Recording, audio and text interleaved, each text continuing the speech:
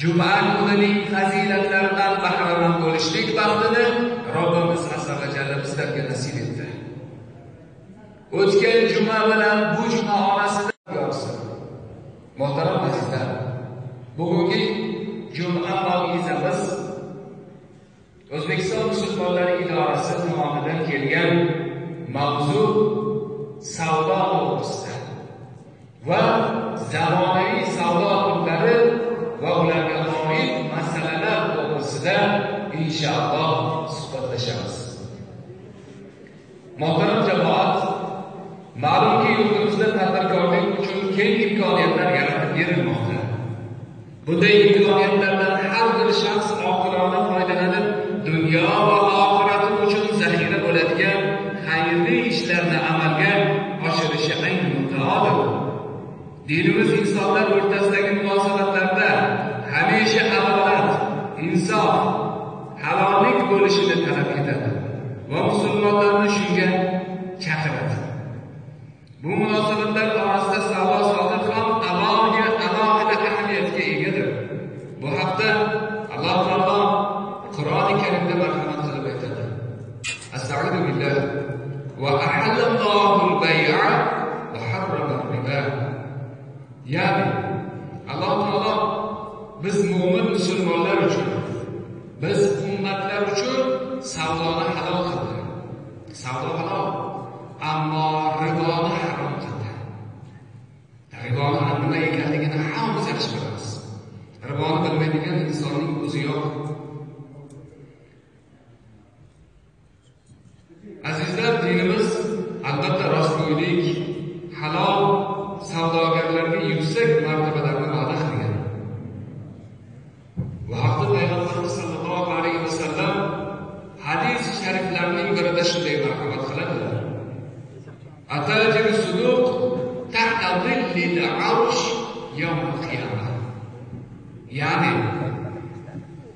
rostgo'y savdogar iymoniy e'tiqodli haqiqiy shariatga mos holatda savdo qiladigan savdogar qiyomatda alloh taoloning arshining soyasida bo'ladi dedilar.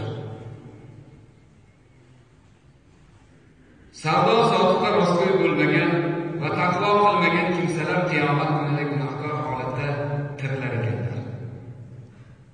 bu haqda payg'ambar sallallohu alayhi vasallam boshqa bir hadislarda shunday marhamat qildilar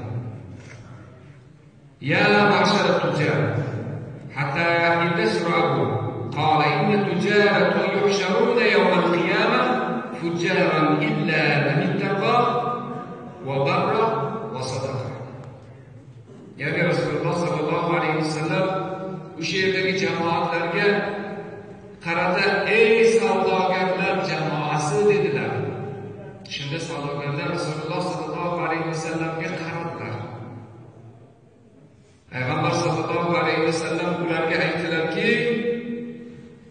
qiyomat kunida qarang juda og'ir gap. Albatta qiyomat kunida savdogarlar gunohkor holatda. Gunohkor holatda tiriladilar payg'ambar sallallohu alayhi vasallam aytyaptilar. Albatta savdogarlar qiyomatda gunohkor holatda tiriladilar. Faqat kim savdoda alloh qo'rqsa solih amallarni qilsa va rost so'zlasa bundan mustasno dedilar shartni nima aytyaptilar agar savdogar rost gapirmasa savdosida yolg'onni qo'shsa yolg'onni aralashtirsa yolg'onni gapirsa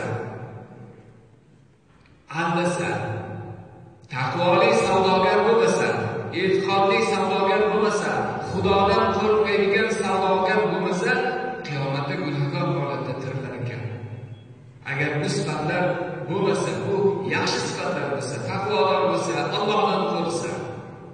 yaxshi amallarni qilsa va yaxshi amallarni qilishlikda bardavom bo'ladigan bo'lsa bundan mustasnodir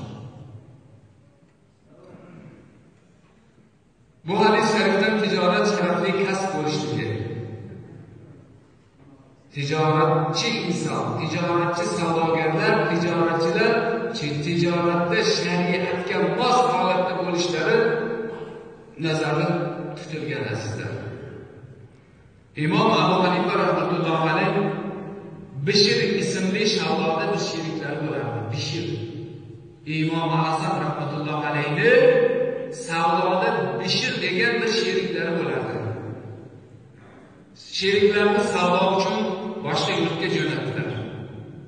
Va ulardan keyin yana bir qancha molni qo'shib boshqa qarorga jo'natdilar va xat yozdilar. Imom azam xat yozyaptilar mana bu molning mana shunchasi mana shunday past narxda sifati pastroq va bu qismining sifati balandroq. Sifati pastroqni past narxda soting. Sifati balandini esa baland narxda soting deb xat yozyaptilar bishir ismli sheriklari savdodan keyin mollarni sotib qaytib kelganda imom azam so'radilar.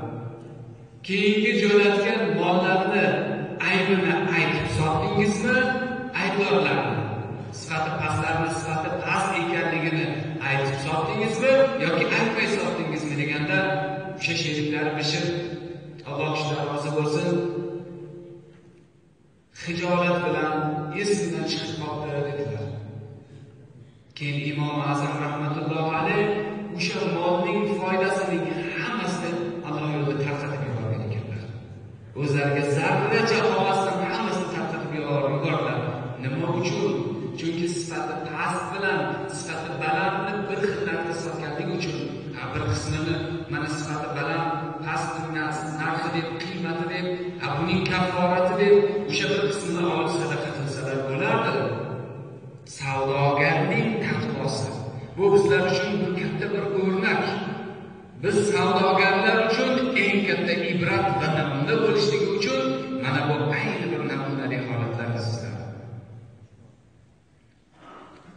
ma'lumki hozirgi kunda savdo sotiqni turlari juda ham ko'payib ketgan ulardan ba'zilarini bayon qilamiz o'sha savdolarning ba'zilarini bayon qilamiz va hozirgi kundagi eng ommalashgan ommaviy ya'ni internetlar orqali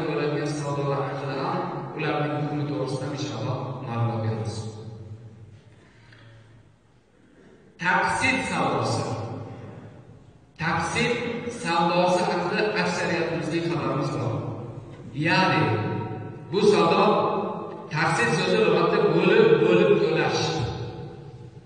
Bo'lib bo'lib bo'lib to'lashlikni aytadi. Va istilohiy shar'iy istilohda esa savdo moli xaridorga darhol topshirib bahosini nasihat qilishga aytiladi savdo molini savdo molini nima qilishlik xaridorga oluvchiga darhol berib bahosini nasihat qilishga aytiladi misol uchun masalan masalan bir odam bir moshinni o'n ming dollarga sotib oldi oddiyroq qilib tushuntiradigan bo'lsak o'n ming dollarga moshinni sotib oldi va boshqa bir kishiga ustiga yigirma foiz qo'ydi ya'ni o'n ikki ming dollar u insonga bo'ldi berdi bo'lib berishga berdi bu joiz. Bo'lib berishga beryapti bu naqdga o'n ming dollarga olyapti boshqa birovga esa o'n ikki ming ustiga ikki ming dollar qo'yib bo'lib berishga beryapti. Bu joiz. Endi buni ham shartlari bor. Nima uchun joiz? Va nima uchun joiz emas buni ham shartlari bor. Misol uchun o'sha beradigan odam kunini vaqtini soatini muddatini tayin qilishi kerak. Ikkalovlari kelishib olishlari kerak. Muddat aniq bo'lishi kerak. Uch oymi ikki ming uch oyga berasiz yoki bir yil.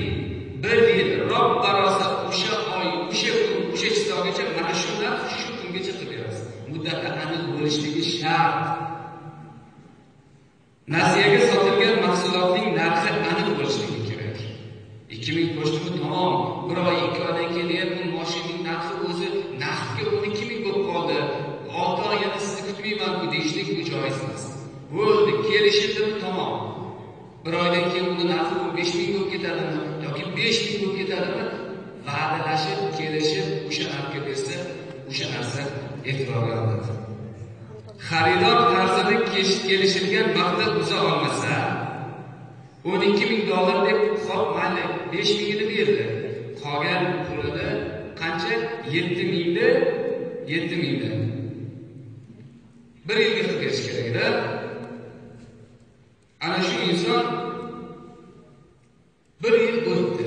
Misol uchun bir yil o'tdiyu shu pulni berolmayapti qolgan shu berdi berdi berdi keldiyu shu o'n bir ming berib bo'ldi yo o'n bir yarim ming berib bo'ldi besh yuz qoldi yoki shundan ko'proq kamroq vaqt qoldi muddat esa bo'ldi tugadi ana shu holatda nima deyaptilar uza olmasa ustiga naqd naqd yana narx qo'yishlik joiz emas. Misol uchun bir yil muddat bo'ldi o'n bir yarim ming dollar berdi muddat tugadi. Bugun oxirgi kun besh yuz dollar qolgan. Haligi inson berolmaydi yana bir oy muddat bering deyapmiz. Haligi odam bir oy mayli muddat beraman yana ustiga yuz dollar ikki yuz dollar qo'shib berasiz deyishlik joiz emas. Ekan bo'ldi o'sha muddat o'sha pul o'sha narsa endi u inson yordam qilishligi kerak beruvchi